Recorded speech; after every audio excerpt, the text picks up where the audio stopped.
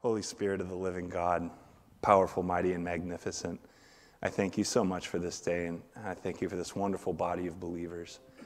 I pray a blessing on this church and this community. I pray, Lord, that you would pour your Spirit out in a mighty way, not for our good, but for your good and your glory.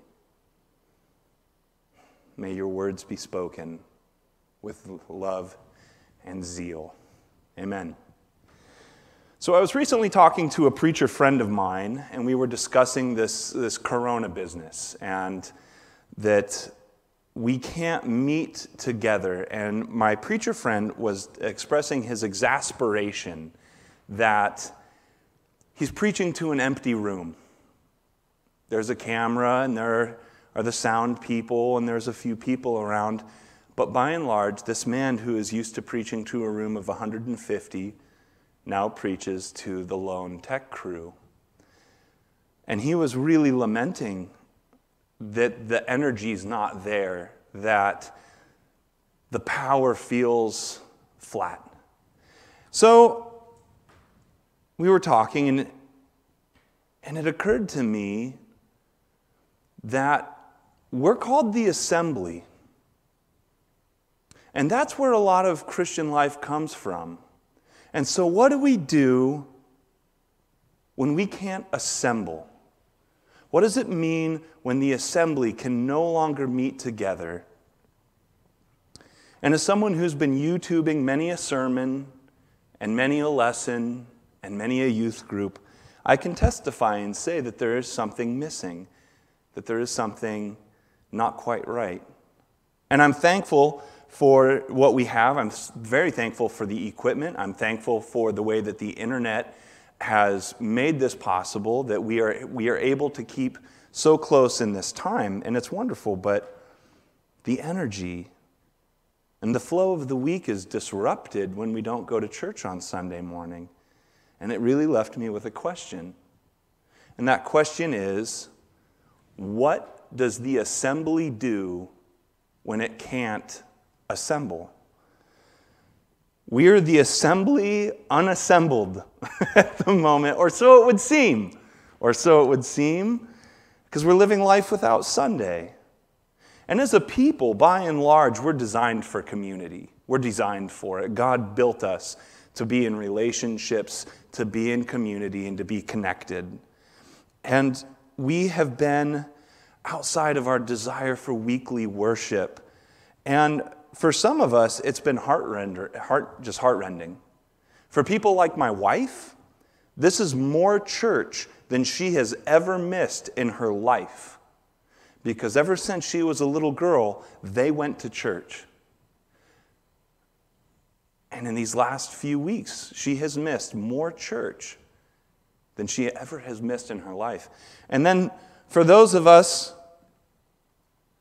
it's been kind of nice. And we feel guilty to admit it, but we have Second Saturday. And my mind drifts to those who are relieved that they don't have to go to church on Sunday.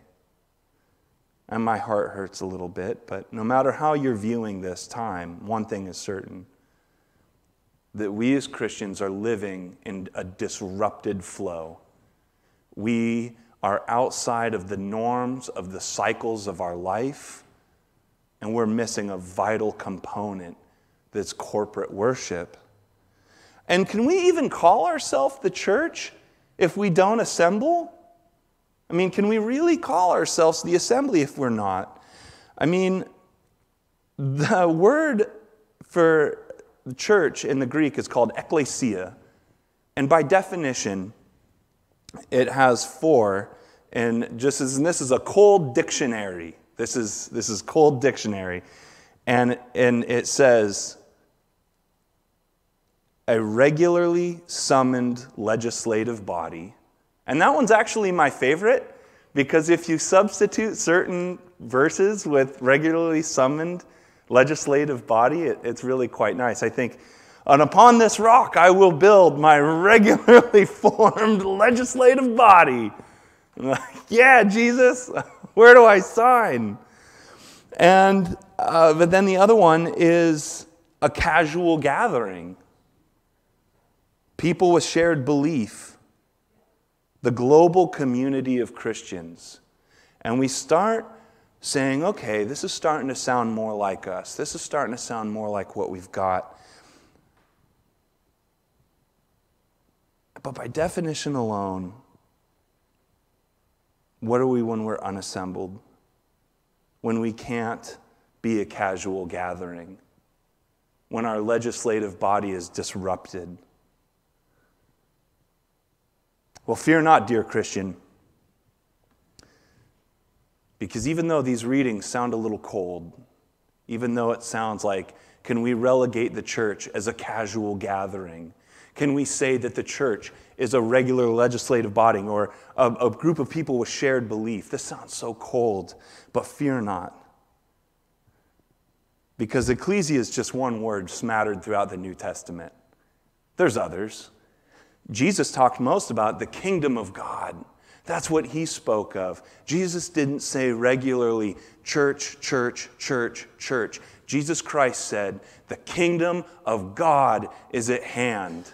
And the thief on the cross, he said, Surely I tell you, you will be with me in my Father's kingdom. And to the apostles, he said, Many of you will not perish before you see my Father's kingdom coming in glory.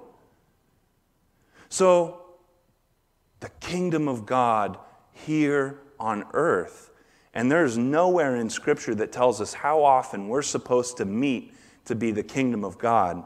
But then there's another word, and this is the one that's found mostly in the Pauline scriptures, and it's the soma, the body, the body of Christ. And we're starting to warm up to this wording a little bit. The word church is starting to gain some love and it's getting a little bit richer and fuller. That we're not just a legislative body, we are the kingdom of God on earth, ambassadors for the kingdom of Christ. And on earth, the very body of Christ Himself, the bride. And it caught my attention because we as Christians, we are an assembly and we are citizens of the kingdom of God, both here on earth and yet to come. We are a body. And what's interesting to me is when I think if we're the body, okay, I still haven't answered the question how do, when we can't assemble, then how, how do we be this body? But I would also like to point out for us that this is a really new problem for Americans. The idea that we're, we, we're barred from corporate worship on Sunday, but for the persecuted church at large, this is business as usual. To the persecuted church, they say, Oh, first time. you know, like, because there are other places in the world. I, I, highly recommend a publication called Voice of the Martyrs. I, I highly recommend it. It's a quarterly magazine that comes out, and a subscription's not very much, and it's a wonderful ministry to support, and it's great to give some perspective. But for the persecuted church, they've been barred from assembly for some time, and yet they thrive and they grow and they worship and they baptize and they disciple. And yet, they're not allowed to meet. So, exploring this idea of how it's done, what does it mean? I'm going to start with a scripture. And what I'm getting into is 1 Corinthians chapter 12. I sincerely hope that you have your Bibles if you don't, don't worry. They're in the pews right in front of you. And I was looking the other day and I discovered they're even NIV. And so that's fantastic. That's what I preach from. So, you know, you don't want to be the only, the only NASB guy showing up to an NIV party, you know? But I'm going to be reading chapter 12. And it's going to be an easy verse to find because it's chapter 12 verse 12. Just as a body, though, one has many parts, but all of its many parts form one body, so it is with Christ. For we are all baptized by one Spirit so as to form one body, whether Jew, Gentile, slave, or free, and we were all given one Spirit to drink. Even so, the body is not made up of one part, but of many. Now, if the foot should say, Because I am not a hand, I do not belong to the body, it would not for that reason stop being part of the body. And if the ear should say, Because I am not an eye, I do not belong to the body, it would not for that reason stop being part of the body. If the whole body were an eye, where would the sense of hearing be? And if the whole body were an ear, where would the sense of smell be? But in fact, God has placed the parts of the body, every one of them, just as He wanted them to be. And if they were all one part, where would the body be? As it were, there are many parts, but one body. And the eye cannot say to the hand, I don't need you. And the head cannot say to the feet, I don't need you. On the contrary, those parts of the body that seem to be the weaker are indispensable. And the parts that we think are less honorable, we treat with special honor. And the parts that are unpresentable are treated with special modesty. And while our presentable parts need no special treatment, but God has put the body together, giving greater honor to the parts that lacked it. So there should be no division in the body, but its parts should have equal concern for one another. If one part suffers, every part suffers with it. And if one part is honored, then every part rejoices with it. Now you are the body of Christ, and each one of you is a part of it.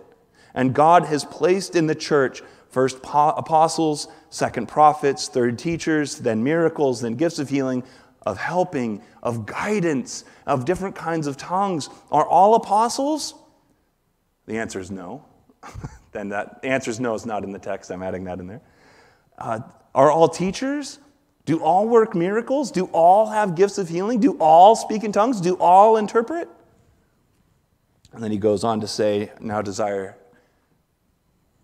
more desirable gifts, which, as and oh, I wish to preach the whole chapter because then he says love is indispensable. And no matter what gift you have, if you don't have love with it, then it's meaningless.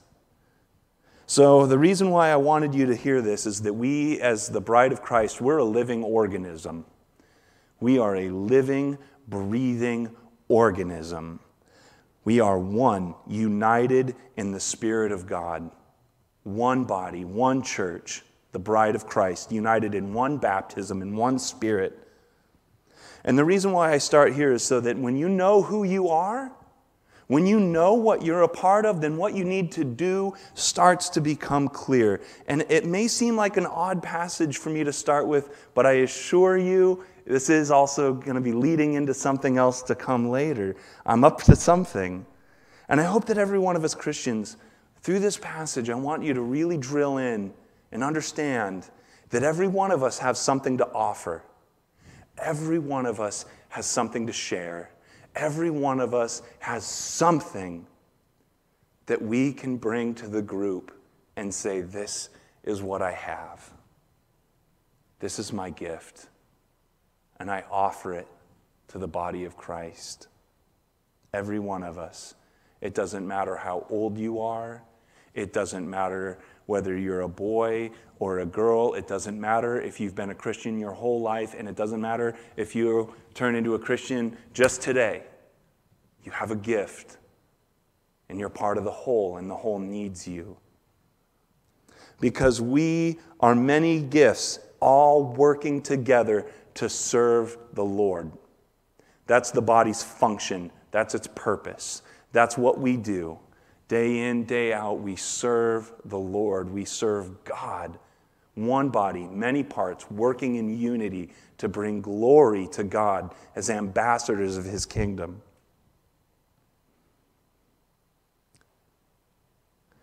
I have a gift, and you have a gift, and your gift is going to look a little bit different than mine. And you know, even if even if I do meet someone whose gifting is the same as mine, and I'm talking about like preaching, even if I meet another preacher, God is going to put them into a different context. He's going to give them a different place to go, and He's going to have them minister to a different body in a different group. So there's gifting wheelhouses. And okay, I'm gifted with preaching, but I'm not the only preacher. And I say that to slide in, there's a little bit of humility attached with this gifting business. But you have a gift. And God takes whatever gift you have and He uses it for the good and the glory of His kingdom if you let Him. If you make yourself willing, God will take whatever gift you have and He will move you where He wants you and He will position you just as you need to be to serve God and the people around you. And all Christians are unique, as all humans are truly unique. God created you as the only you that has ever been or ever will be. I mean, really. And you're gifted, my family. You're gifted in amazing and spectacular ways. You're gifted in ways that I can't begin to explain in a 30 minute sermon, but I promise you, you're gifted. You, O Christian, you're gifted and uniquely to serve the whole, to bring your gifts. Because your gifting is unique and completely necessary to the good of the body. You'll notice in that passage that why I started here is instead of action to know that you can say, I am a necessary component to the body of Christ. I have a gift and the body needs me. We have to know this first before we can start getting into action because orthopraxy, that's right living, flows from orthodoxy, which is right thinking. So to know, first and foremost, you are unique, you are gifted, and you are a vital and necessary member of the body of Christ. You must know these things because they're true. When I tell you this, I don't tell you because I heard a TED talk on it. I don't tell you this because it's popular psychology. I tell you this because it's the Word of God. God says, I made you beautiful, gifted, and unique. So much to contribute to the service of the Lord. And if you don't believe that's true, if you say, I got nothing, minister, I'm just a broke down, beat up XYZ. My heart breaks because I've met many who believe this, and somewhere along the way, I can tell you that you believed something that wasn't true. Somewhere along the line, you started to believe something that wasn't the Word of God because the Word of God says you are beautiful, you are talented, you are gifted, and you are necessary and I say you in the plural and all Christians across the world, this is true. And hopefully, by now you've, you've started to wonder okay, preacher man, I am unique, I'm gifted, I'm a beautiful snowflake. All right, you have yet to answer the question that you started with, which is how do I become the assembly when we can't assemble? I was promised action steps when this whole thing started. All right, well, buckle up because I'm about to kick it into third gear. And I'm glad that you're wondering about these things. How can we be the assembly when we can't assemble? I'm special. Great. So, how do we go being the church without meeting on Sunday? Romans 12 gives us a little insight into that. And while we look for Romans 12, one thing that I wanted to mention also about the Corinthians passage that's prevalent to this is that it says when one part of the body suffers, we all suffer with it. And when one part of the body rejoices, we all rejoice with it. And so if you're watching this at home and you're hurting, I pray that you would let us know. I pray that you would reach out to us. With modern technology, we're a phone call away. And even if we can't come physically be with you, we can pray over you, we can pray with you. If you're suffering, we will suffer with you because we are one. So, on to this idea of Romans chapter 12. How do we worship when we can't assemble on Sunday? Therefore, I urge you, brothers and sisters, in view of God's mercy, to offer your bodies as a living sacrifice, holy and pleasing to God. This is your true and proper worship. Do not conform to the pattern of this world, but be transformed by the renewing of your mind, and then you will be able to test and approve what God's will is, his good, pleasing, and perfect will. For by the grace given me, I say to every one of you, do not think of yourself more highly than you ought, but rather think of yourself with sober judgment in accordance with the faith that God has distributed to each of you. For just as each of us has one body with many members, these members do not all have the same function. Ah, we were just talking about that. So, in Christ, we, though many, form one body, and each member belongs to all the others. We have different gifts according to the grace given to each of us. But if your gift is prophesying, and now this is getting into this action stuff I've been talking about. If your gift is prophesying, then prophecy in accordance with your faith. If it is serving, then serve. If it is teaching, then teach. If it is to encourage, then give encouragement. If it is giving, then give generously. And if it is to lead, do it diligently. It is to show mercy, then do it cheerfully. And then he goes on to say, Love what is good and hate what is evil. But the idea that what action do we take? Well, I don't know. What are you good at? Where's your gifting? What has God blessed you with? Because just as we are all uniquely gifted, our service is going to look a little bit different. And that's one of the reasons why, by and large, the church, you can't walk in and then they just have a uniform for you to put on and say, okay, Christians, this is, this is what you do. This is, you're going to go out and you're going to preach this tract. Are all preachers? No. Are all administrators? No. That's one that I can honestly raise my hand and say, like, my own like concept of a living nightmare is being stuck in a room full of folders and being told, okay, now you need to organize these. But if you told my wife that, she would just, like, I have gone to heaven. so this is how gifting works is we all have a gift and we all use that gift but i can't i can't stand up here and say every christian has this gift or every christian has that gift because by and large this list i gave you and this is one of the things that i've run into with gifting um, like tests you know where people like what's my gift you know answer these five questions and we'll tell you one of the things that's hard about it is they just use lists found in the Bible. And I feel like these gifts in the Bible are valid and they're real, but what other gifts are there? I've met people who are gifted with technology. And these are the beautiful and wonderful men and women who hook up microphones and soundboards and, and make our stage lights go and make sure the baptistry stays warm. But it doesn't say in there, and then there will be gifted Mac users. no, like, but there are people who are gifted that I've met gifted mechanics. And if you don't think that a good mechanic is a gift sent from God, then you've never been ripped off by a bad mechanic.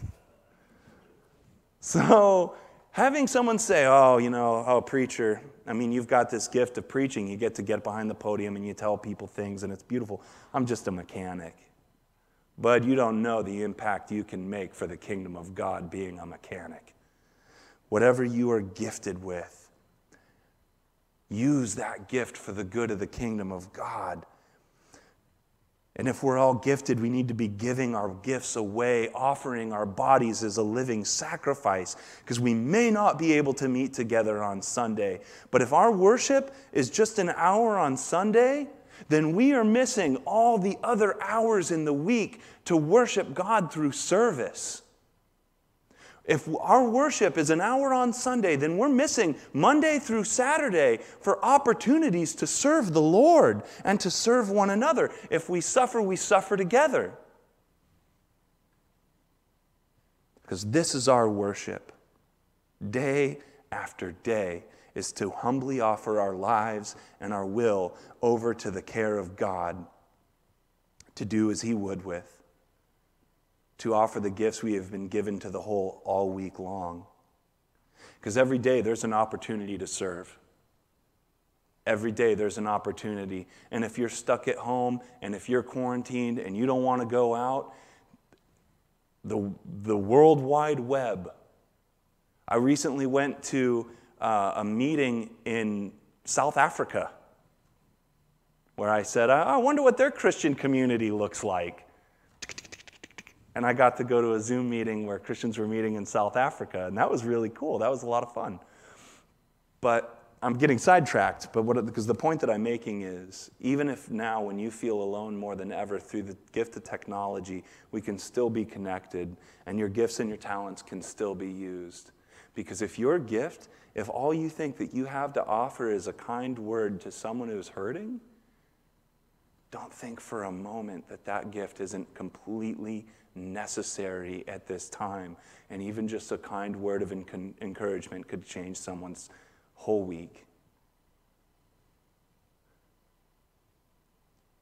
Whatever your gifting is, be sure you're using it every day, except for maybe Sunday, because that's a day of rest. that's a whole nother sermon. But serve with gladness and sincerity, knowing that your living sacrifices worship to God. Your service is to and for God. And love is action. And if only I had time to continue to preach, because in both Corinthians 12 and in Romans 12, Paul gets into something that's real deep in my heart, and it's love.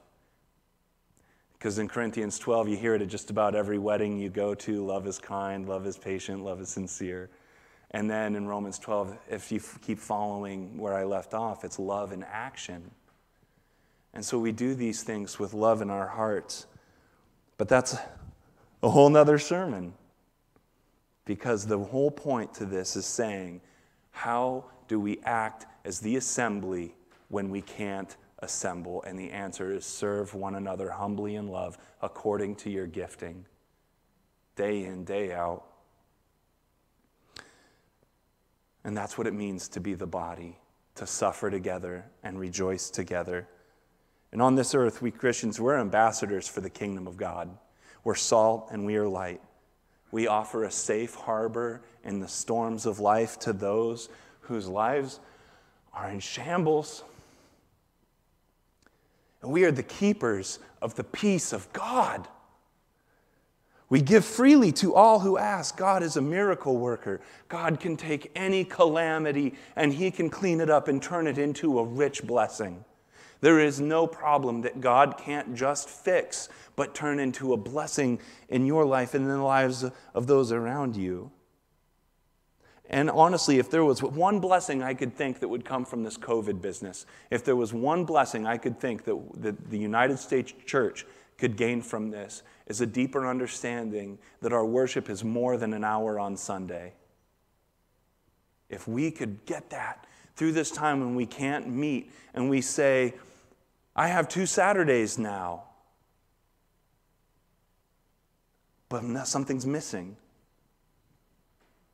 Our worship is more than an hour on Sunday, and if we could really learn that, if this disruption that we face could spurn us to be transformed by the renewing of our minds to a deeper understanding of our daily function as ambassadors for the kingdom of God,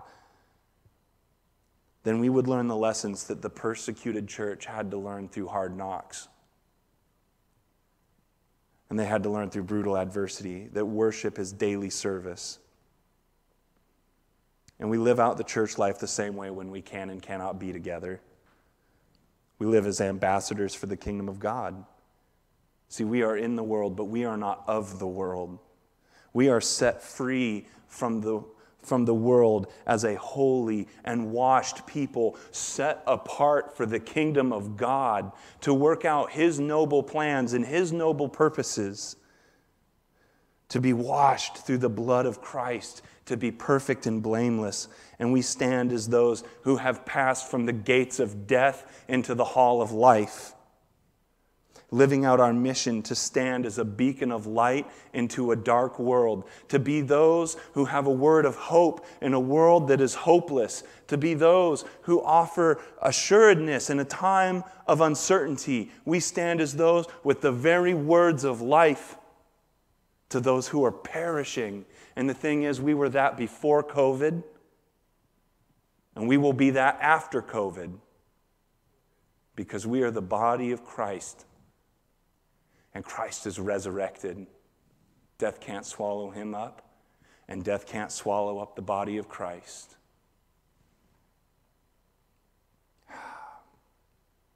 So, my prayer for you through this sermon is that you would start asking yourself, What's my gifting? And if you don't know, then reach out to us because there's someone whose gifting is helping other people figure out what their gifting is. so if you don't know, don't worry about it. Reach out. There's someone that will be thrilled to answer that question for you. But find your gifting, find your talents, find your strengths, and use them to the good of the kingdom of God. Some people, they're gifted in outreach. Some people are gifted in reaching out to the church that's already established. Wherever you called serve, serve with joy and gladness. Let us serve as a source of strength to one another in this trying time, always knowing that day by day we offer our life and our will over to the care of God. May the Lord God on high bless you in abundance as you discover your gifts and talents and serve in whatever capacity that God, Christ, has called you towards. Peace and life to you in abundance, my family.